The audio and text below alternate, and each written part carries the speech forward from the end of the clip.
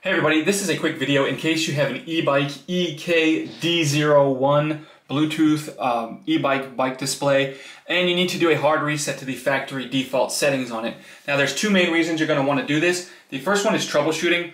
If this thing is lagging or freezing or not connecting um, or you're having any issues like that, you can very often fix them with um, a hard reset. Now you're going to need to set everything up again because any configurations or presets will be wiped off of it, including your Bluetooth pairing. Um, but if that's something that you want to do, you might want to be, you know, that actually might be why you want to do this. If you just want to get this back to the way it was when it was new. Um, it's really quite simple to do. All we're going to do is with this on, we're just going to come in and short press the power button. And when you short press the power button, that will open up um, the settings menu. And, so, and, then from there, we're just going to toggle through the, um, the settings menu with the plus and minus and then hit the, just short press the power button to select each thing. So all we're going to do is from the settings menu, then we're going to toggle down to reset factory.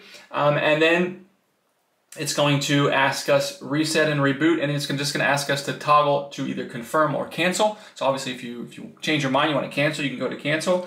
Um, but if you want you hit confirm and it will be reset to its factory default out of the box settings